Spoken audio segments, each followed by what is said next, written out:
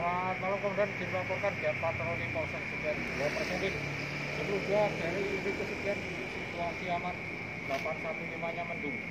Kemudian yang dapat dilaporkan dari BRI unit kesekian selamat malam.